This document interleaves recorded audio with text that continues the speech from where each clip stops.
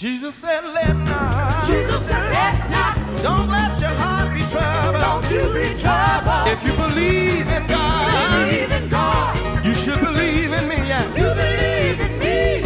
Cause in my Father's In house, my Father's house, there are many mansions there. so many mansions there. If it was not If it were not true, I would have told you so. I would have told you.